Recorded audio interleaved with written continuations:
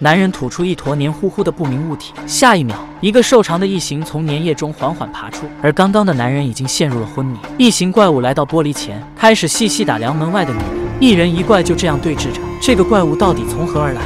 时间回到三周前，两名宇航员首次成功闯过大气层。就在返程的途中，机舱开始剧烈摇晃。就在这时，宇航员看到有东西似乎围绕在窗户周围，这到底是什么生物？竟能在高温且无氧的环境下活动自如？来不及细想，返回舱成功落地。一个猎户恰好目睹了这一幕，他好奇地走上前去，可只看了一眼就被吓得当场逃走。而这个濒临发狂的宇航员，当天就被关进了军方的隔离中心。原本是航天英雄，此刻却变成了阶下囚。因为军方发现小帅时返回舱破败，另一名宇航员当场暴毙，而他却是毫发无伤，这不禁让人怀疑，并且对于这一切，小帅也无法解释，因为他失去了那段时间的记忆。为了查清事情的真相，军方请来了神经学专家小美，想让他帮助小帅找回丢失的记忆。通过各种治疗对话，小美发现小帅表达通畅，思维清晰，精神状态也很不错，似乎并没有什么可疑的地方。结束与小帅的对话后，小美告诉指挥官可以释放小帅，毕竟人家是位了不起的航天英雄。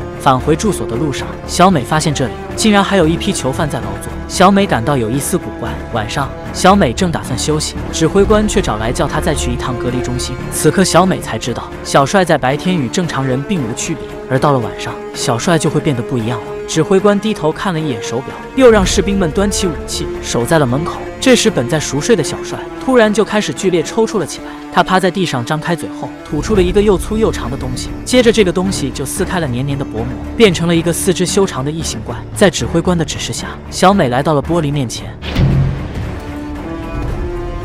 这番惊吓后，小美已经害怕的腿脚发软了。指挥官告诉她。这个东西可以自如出入小帅的身体，但不会对他造成伤害。而接下来小美的任务就是要找办法把异形和小帅分离开，以便他们更好的研究这种太空生物。翻看这些天的记录后，小美发现异形怪让小帅的身体变得更强壮。白天他休眠在胃里，晚上离开人体时会分泌一种毒，让小帅的肌肉变得松弛，接着进入昏迷。外出活动一段时间后，他需要再次回到体内。这样的现象不像是寄生，更像是两种生物的和谐共处。为了收集更多的信息，小美再一次来到隔离房间，打算和异形怪来一次近距离接触。四肢修长的异形匍匐在地，开始模仿女人的动作。女人躺倒在地，她也跟着做出一模一样的动作。突然，地上不断转圈的玩偶吸引了他的注意力。从这些迹象来看，这个异形应该拥有一定的智力，说不定能够沟通交流。于是，小美穿上防护服，让人打开了隔离的玻璃门。小美弟突然闯入。异形并没有主动发出攻击，他的注意力似乎一直是地上的玩偶身上。见此情形，小梅走了过去，朝着异形的脑袋伸出了手。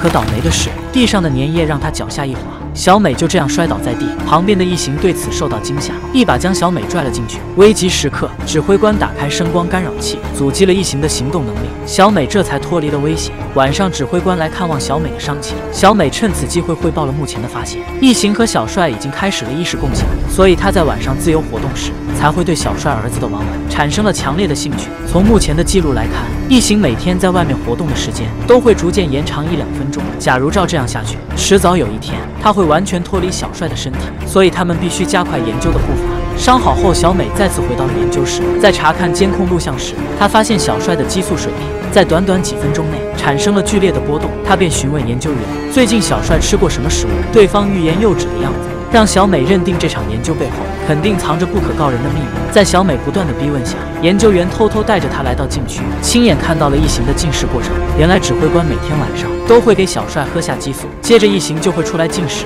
而异形的食物正是之前小美看到的囚犯。人类在惊恐的时候会释放大量的皮质醇，而异形正是以此为食。随后，小美来到办公室和指挥官对峙。听完小美的话后，指挥官表示，他之所以这样，是为了更好的控制异形，因为他们需要拥有更强大的武器，以保证和平的维系。跟他的所作所为相比，那些囚犯才是罪大恶极。直接给异形做食物，已经算是法外开恩了。小美把指挥官的所作所为告诉了小帅，两人商定好找时间一起逃出基地。第二天，眼看指挥官还要继续投喂异形，小美钻进笼子里，挡在了异形和囚犯之间。她唱起了小帅最喜欢的歌曲。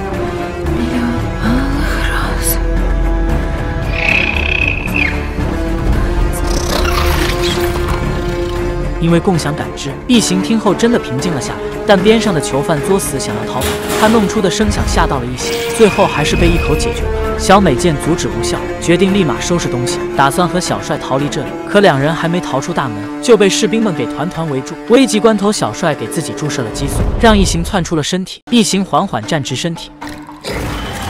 异形在这边引开火力，小美将晕倒的小帅拖到了车上。他们冲出军方辖区，向着外面一路逃跑。经过异形的洗礼，基地里已是死伤无数。指挥官穿上装备，打算独自上前对付这个异形。只见指挥官扔出一个烟雾弹做掩护，姜还是老的辣。一番激战后，指挥官虽被撕掉了一只手，但还是单手举枪制服了异形。而这边的小帅因为共享感知，也是千疮百孔，口中吐血。看来两人的性命已是彻底链接。小帅想要活下去，也离不开异形。没办法。小美带着小帅下车，留在原地等待追捕的士兵。不一会儿，指挥官就追了过来。他让手下把还剩一口气的异形从车上搬了下来，想让他返回小帅的身体。在完全掌控异形这样的生化武器前，他们必须保住小帅的性命。但对于小美，他们绝不会手下留情。接着，指挥官就对他动起了手。就在这时，地上的小帅开始发狂了。他用尽力气控制起伤痕累累的异形，一瞬间，异形满血复活。转眼就解决了三个士兵，做尽坏事的指挥官也最终也死在了异形手下。追兵的危机解除，小美急忙扶起小帅，异形缓缓走向他们。他停在小美身后，看了他一眼后，转身钻回了小帅的身体里。一瞬间，小帅的身体就重新恢复了生机。可此时的小帅一想到以后自己将会和异形共用一个身体，便觉得生无可恋了，拿起枪便选择了自杀。而也只有这样才会彻底消灭异形。电影的最后，小美领养了小帅的儿子。完成了小帅最后的心愿。这部电影是二零二零俄罗斯拍摄的异形科幻大片，不得不说战斗民族的特效确实不错。异形空化的逼真细腻，可能剧组的成本都花在特效上了。故事情节略显单薄，逻辑也有些硬伤，但不管怎么说，还是值得一看。好啦，今天的节目就到这里。这部电影叫做《寄生异形》，欢迎关注，我们下期再见。